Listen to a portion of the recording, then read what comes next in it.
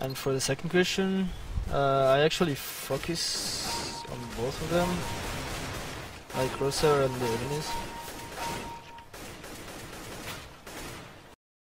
Hello there! If you need the best CSGO settings to carry all the matches, then you came to a right place. In this video, we will tell you all things about how to configure your mouse correctly. Let's go!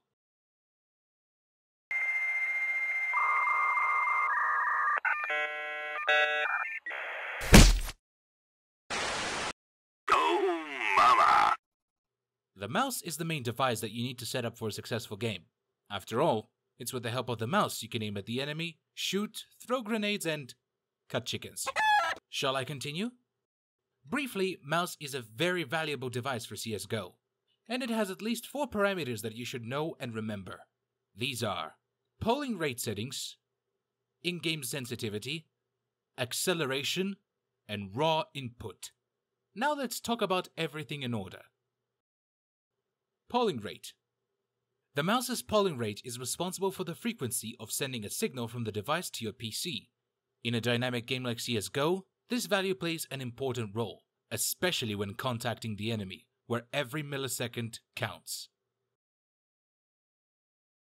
Setting up this value is usually available in a special software for mouse, which you can find on the website of the manufacturer of your device. For example, my mouse, Bloody, has a program called Bloody 7, which I downloaded and installed. In it, I have found a setting that is called the report rate. It takes values of 125 to 1000 Hz. Next, I set its value to the maximum and click the apply button. Be sure to check that your value of this indicator is 500 or higher. This is the recommended frequency for a comfortable game. In-game sensitivity. The final speed of the mouse in the game is achieved by counting two indicators, your DPI and mouse sensitivity. DPI is the value of your mouse sensitivity for the desktop computer. You can set it up in the software for your device, which we just talked about. Mouse sensitivity is located in the game settings in the keyboard and mouse section. Multiplying these two parameters, we get the final sensitivity in the game. So, for example, if I have 1200 DPI in my device software settings and a value of 1.5 in the game, the final sensitivity value for me will be 1800.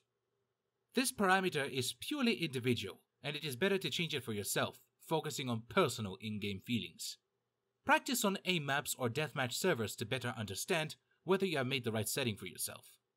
A common thing in setting up your in-game sensitivity in the initial stages is to copy the value from one of the professional players. For example, in-game sensitivity of the best HLTV player of 2018, Alexander Simple Kostyliev, is 1236.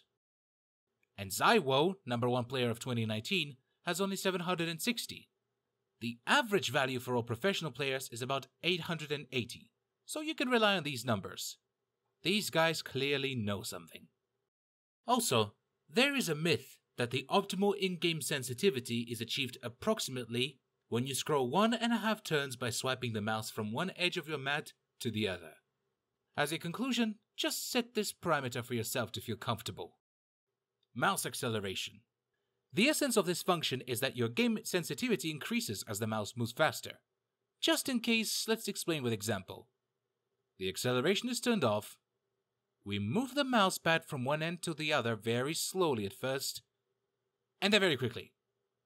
As you can see, the character's gaze in both cases stopped at about the same place. Now we will do the same with the acceleration enabled. For fast movement, the view went much further. In fact, acceleration is a useless function that will only get in your way. For example, it will be more difficult to train your muscle memory for flicks and similar things. You will just fly away to the side. So then, disable this option here. Raw input. Setting raw input on means that you disable the influence of third-party resources, such as drivers and so on, on the in-game behavior of your mouse. We strongly recommend that you keep this feature enabled. We don't need to depend on other programs. You can set it correctly in the game settings by clicking here. Now let's go over the main points in the video once again. Polling rate 500 Hz or more. In-game sensitivity. Rely on personal feelings. Or take this setting from a pro player. Mouse acceleration, disable. Raw input, enable. Well, this is the first part of the CSGO settings, ends. Thank you for watching to the end. In the next video, we will show you detailed CSGO video settings. See you later!